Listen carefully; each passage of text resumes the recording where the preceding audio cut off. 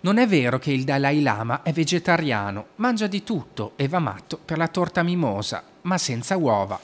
A confidarci i gusti culinari della massima autorità buddista mondiale è Gianni Tota, chef di fama internazionale, conosciuto come lo chef dei VIP. Tota, a Piacenza per tenere un corso di cucina salutare per bambini al centro commerciale gotico, ha cucinato anche per celebrità del calibro di Vasco Rossi e Flavio Briatore. Siamo qui per sensibilizzare eh, l'uso degli ingredienti naturali ai bimbi, quindi sin dalla piccola età eh, proviamo a insegnargli quanto sia importante nutrirsi in modo giusto. Sei nel nostro territorio, conosci qualche prodotto tipicamente piacentino? Guarda, assolutamente la coppa è, è, uno dei piatti che io porto solitamente nelle case dei VIP.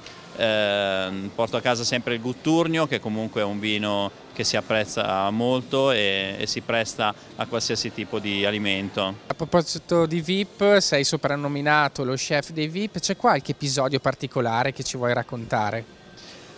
Ma di episodi, di aneddoti se ne potrebbero fare veramente tantissimi. Eh, il mio incontro più bello è in assoluto quello che ho fatto con Sua Santità il Dalai Lama, che è avvenuto tre anni fa a Milano, eh, all'interno di un hotel per il quale lavoravo.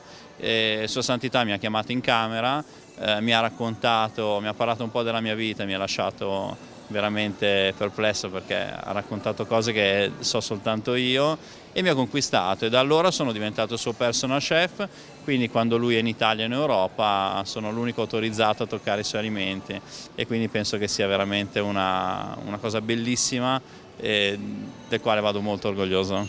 A che cosa hai rinunciato tu per la carriera?